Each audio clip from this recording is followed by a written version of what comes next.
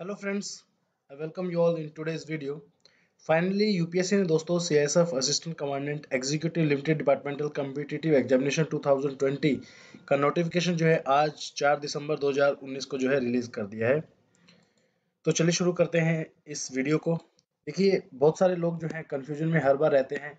कि ये कौन सा फॉर्म निकला है, ठीक है? तो मैं अभी आपको डिटेल में बता देता हूँ, ताकि आप इस वीडियो को एंड तक वही लोग देखें, जिन लोगों के लिए वीडियो बेसिकली बनाई गई है।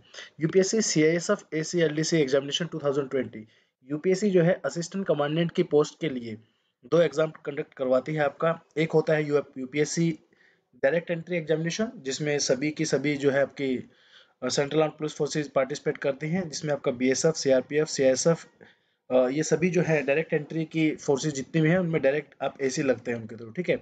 एक एग्ज़ाम जो है limited limited departmental competitive exam भी यूपीएससी कंडक्ट कराता है। किसके लिए कराता है? जी हाँ सीआईएसएफ के लिए कराता है सिर्फ़, ठीक है?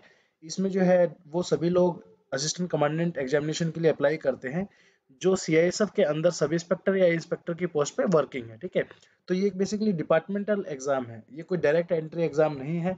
जितने भी जनरल स्टूडेंट एस्पिरेंट जो तैयारी कर रहे हैं, आपके लिए जो एग्जामिनेशन आएगा अभी, वो आएगा UPSC C A P F A C exam 2020 जिसका नोटिफिकेशन जो है आपका अप्रैल के अंदर आएगा राइट तो इस एग्ज़ाम में सिर्फ़ वही लोग एलिजिबल हैं जो सब इंस्पेक्टर और इंस्पेक्टर हैं और सर्विंग है भी सीआईएसएफ के अंदर with some term and condition age and some other criteria which will discuss further in this video okay so notification जो है वो आज आ चुका है। इस फॉर्म को लास्ट डेट जो है फिलअप करने की वो है आपकी 24 दिसंबर।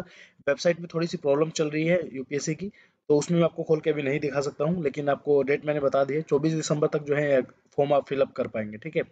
एग्ज़ाम का जो डेट रहेगा वो फ़र्स्ट मार्च 2020 आपका रहेगा, ठीक है? अब नोटिफिकेशन की तरफ़ थोड़ा सा चलते हैं। तो देखिए, यहाँ पे आप देख सकते हैं, ये सारी की सारी बेसिक डिटेल्स इसमें दी हुई हैं।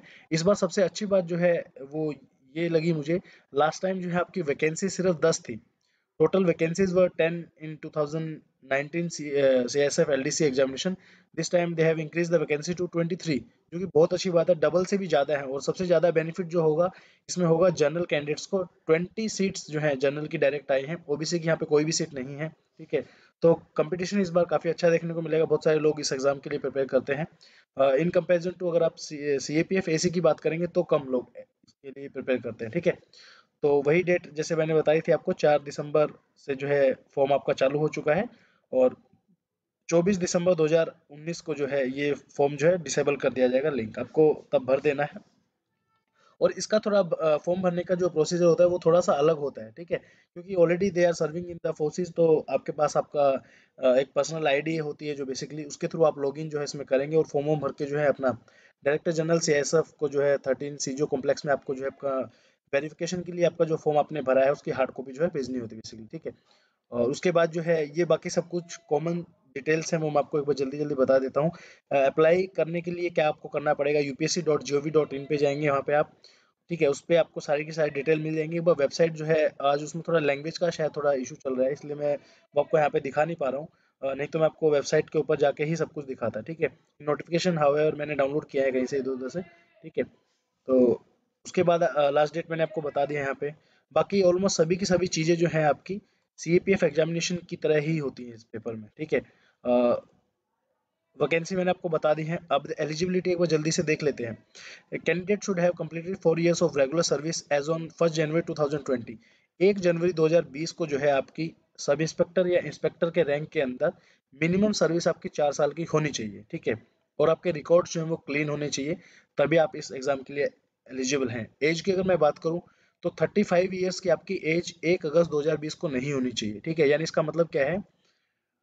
You must not have been born not earlier than second August 1985 यानी 2 अगस्त उन्नीस से अगर आपका पहले का डेट ऑफ़ बर्थ है तो आप इसके लिए एलिजिबल नहीं है। लेकिन यहाँ पे जो है कुछ छूट इसमें दी गई है। शेड्यूल कास्ट के लिए जो है फाइव ईयर्स की जो है रिलैक्सेशन है उसके बाद आपका इसमें हाँ पाँच साल की जो है शेड्यूल कास्ट को जो इसमें छूट मिली हुई है। उसके बाद एज क्राइटेरिया अगर आप देखेंगे, उसके बाद इसमें एनसीसी वगैरह के बारे में आएगा तो इसमें आपका जो है डिजायरेबल क्वालिफिकेशन बताया गया है। पर्सनैलिटी टेस्ट के अंदर आपको जो इसका बेनिफिट देखने को मिलेगा, ठीक है? और बाकी सब नॉर्मल चीज़ें हैं। ये दोनों के दोनों पीडीएफ एक ये वाला पीडीएफ है, जिसमें आपकी डिटेल्स बताई गई हैं। दूसरा ये वाला आपका पीडीएफ है वैकेंसीज का पीडीएफ ठीक है? ये दोनों हमारे टेलीग्राम ग्रुप के ऊपर अवेलेबल रहेंगे आपके लिए, ठीक है? वेबसाइट शायद अभी मे बी आज या कल में काम ना करें तो आप नोटिफिकेशन एटलीस्ट वहाँ से जाके एक बार पढ़ सकते हैं, ठीक है? उसके बाद हमारी एंड्रॉइड ऐप है स्टडी फंडा की, वहाँ पे भी जो है हम दोनों पीडीएफ को अपलोड कर देंगे। डाउनलोड सेक्शन में फ्री स्टडी मटेरियल वहाँ पे आपको देखने को मिलेगा। वहाँ से आप दोनों नोटिफिकेशन डाउनलोड कर सकते हैं और टेलीग्राम ग्रुप के ऊपर भी आपको मिल जाएगा, ठीक है?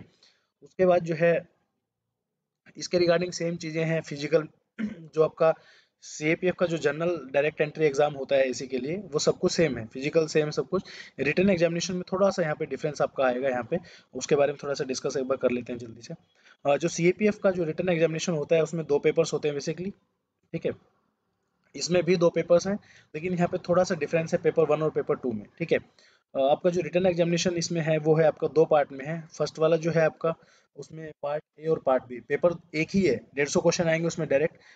पार्ट ए में जो आपके 75 क्वेश्चन होते हैं, जनरल एबिलिटी और इंटेलिजेंस, इसमें आपके सभी 75 क्वेश्चन जो है, इसमें polity geography history, science environment mathematics and ये सब मिला के जो है 75 क्वेश्चन आएँगे, डेढ़ सौ नंबर के, दो नंबर का एक क्वेश्चन, ठीक है?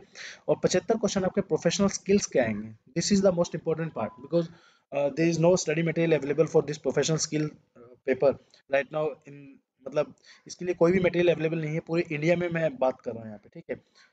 स्पेशली uh, जो है हमने इसके लिए कंटेंट एक तैयार किया था। उसकी अगर आपको इन्फॉर्मेशन चाहिए तो व्हाट्सएप का लिंक जो है वीडियो की डिस्क्रिप्शन में डाल रहा हूँ। कोई भी इन्फॉर्मेशन आपको अगर इस एग्जामिनेशन के रिगार्डिंग चाहिए तो आप हमसे डायरेक्ट जो है कॉन्टैक्ट कर सकते हैं ठीक है? उसका पेपर टू इसमें आएगा ऐसे precise writing and comprehension hundred marks का है, दो घंटे का जो आपका ये पेपर होगा, दूसरे वाला, ठीक है? सेम डे होंगे दोनों के दोनों। उसके बाद जो है यही सब बेसिक डिटेल्स है इसमें आपकी। उसके बाद सिलेबस को अगर मैं एक्सप्लेन करूँ, ये हम नेक्स्ट वीडियो में जो आपके लिए एक्सप्लेन करेंगे, ये वीडियो सिर्फ़ आपको एक इन्फॉर्मेशन देने के लिए था कि आपका फॉर्म निकल गया है और जल्दी से जल्दी आप इसे भर दीजिए। तो इस वीडियो में दोस्तों इतना ही। कोई भी डाउट अगर है आपका तो आप हमसे डायरेक्ट कॉन्टैक्ट कर सकते हैं ईमेल के थ्रू हमारी एंड्रॉइड ऐप के अंदर चैट का ऑप्शन है, वहाँ से आप हमसे कॉन्टैक्ट कर सकते हैं। और वीडियो की डिस्क्रिप्शन में जो है आपका व्हाट्सएप का लिंक आपको मिल जाएगा, वहाँ से भी आप हमसे कॉन्टेक्ट कर सकते हैं। Thank you so much for watching this video have great day